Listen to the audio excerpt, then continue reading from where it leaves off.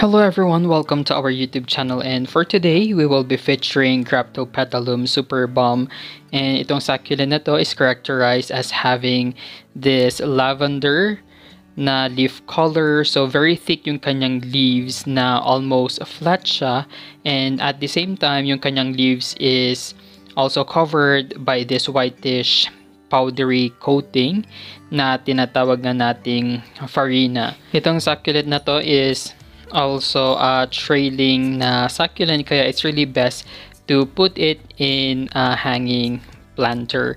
So for its light requirements, it's best to put it in an area kung saan makaka-receive nga siya ng sufficient sunlight kasi it's really best to look at the succulent pag compact siya like what we are seeing right now. So when I say compact, dapat ganito yung kanyang rosette, dikit-dikit yung kanyang leaves kasi if it's not gonna be receiving enough sunlight, magiging leggy siya or maghihiwa-hiwalay nga yung kanyang leaves. And syempre, if it's not receiving enough sunlight, hindi siya magiging ganito ka-colorful. So, we cannot really see and appreciate yung pagka-purplish na lavender ng kanyang color. For its watering, it's also very basic na we only need to water it pag nag-completely dry na nga yung kanyang potting mix. And if, for example, walang ulan, what I usually do is manually water it.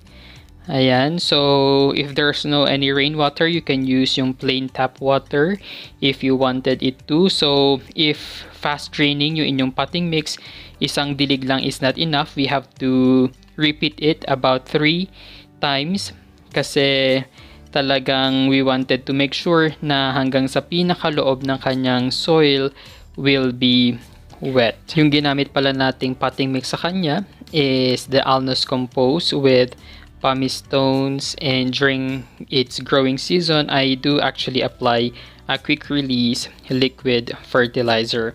For its propagation, hindi rin kayo mahirapan kasi this succulent is known to produce its own offset. So itong nag-trail na ito is the mother plant and yung dalawa sa pinakalikod are actually the offsets already and in time magkakaroon ulit siya ng offsets somewhere there. Kaya hindi kayo mahirapan na padamihin itong succulent na ito but in any case you wanted to leaf propagate it sobrang dali lang din tanggalin nung leaf sa kanyang stem.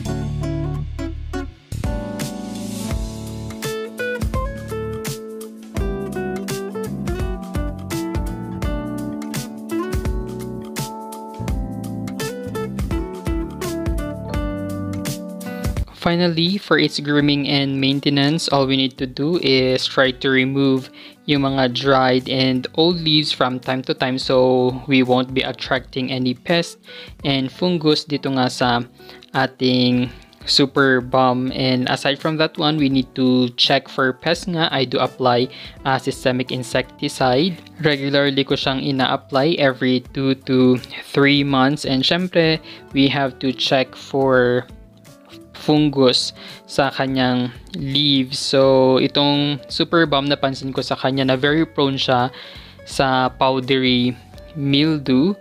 And so, if for example, isang leaf lang naman or dalawang leaf lang yung infected, we can just simply remove that leaf para hindi na siya kumalat pa sa iba nating mga leaves and succulents around this one. So this one is what a powdery mildew looks like. Ayan, so that's actually a fungus. And pag for example, malala na talaga yung fungus dito nga sa ating succulent, we really need to apply a systemic fungicide na or sometimes naglalagay rin ako ng contact na fungicide, yun nga yung Turogi Blue. So, ayan, it's something na pinakaayo ko sa aking mga succulents kasi ang bilis niyang kumalat. Kaya as much as possible, we have to treat right away yung ating succulent pag may fungus na sila. So I guess that's all for today. Thank you guys for watching. Don't forget to like and subscribe to our YouTube channel. You may also visit our Facebook page at Desert Succulent PH.